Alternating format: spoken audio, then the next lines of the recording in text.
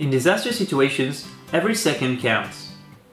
It's all about locating victims and assessing the situation as fast as possible. Robots seem to offer a perfect solution to this challenge. However, we don't see a lot of robots in the deployment kits of search and rescue professionals. Why is that? Well, it's because it's very difficult to send a robot in confined spaces, indoors, and in complex, unpredictable environments. Ground robots get stuck against obstacles, and flying robots need to stay in the air, far from any structure, or they risk crashing. Finally, flying robots pose a direct safety risk for humans. We cannot locate victims with a robot that may hurt them. We want to change that. Our vision is to empower rescuers with robotic partners that truly fit their needs.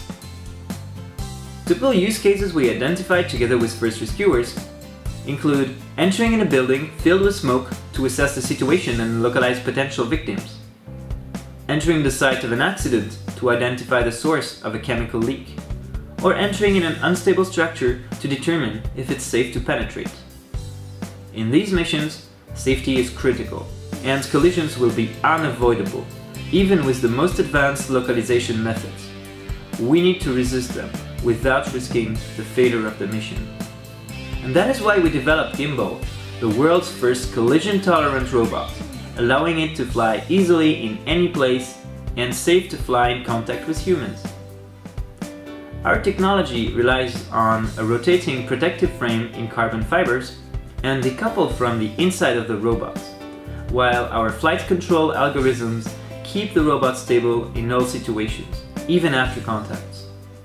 This makes the robot able to go everywhere, and in addition to flying, it can roll on walls, ceilings, and on the ground.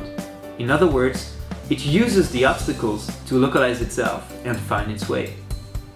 It is very lightweight, and with the cage, it will not damage the environment and the people working close to it.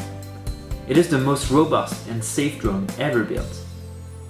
This is a breakthrough completely changing where drones can be used, and it got professionals from many different fields very excited.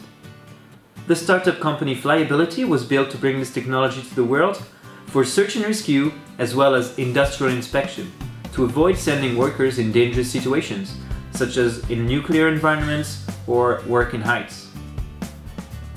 However, we still have important development steps ahead of us to further improve the device and make it in a larger volume. And while we already found early adopters in the industrial segment allowing to co-finance the development in this market, it is very challenging to fund the developments towards search and rescue needs. And this is where Drones for Good can help us, by allowing us to adapt the robots more specifically to rescue scenarios, notably by including infrared imaging to see in the dark and through smoke, improving the indoor localization capabilities through visual SLAM, and developing a dedicated user interface for use in the field.